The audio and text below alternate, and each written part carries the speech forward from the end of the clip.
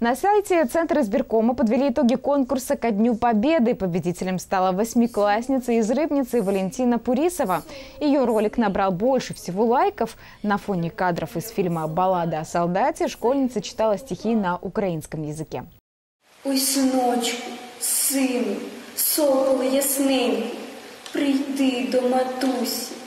Еще одна работа в числе лучших – ролик Даниила Токарева. Мальчик взял блокнот, ручку, надел советскую форму, под лиричную мелодию прочитал стихотворение Эдуарда Осадова «Письмо с фронта».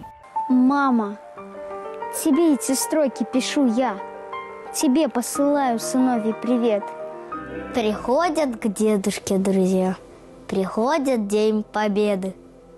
Люблю подолгу слушать я их песни и беседы.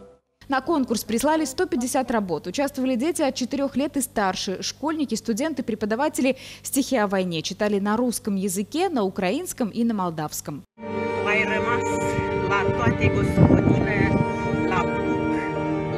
Конкурс ко Дню Победы ЦИК запустил две недели назад. Участникам нужно было прочитать стихотворение о Великой Отечественной войне, записать видео и опубликовать у себя в Инстаграме или ВКонтакте. Лучшие видео определяли по количеству лайков.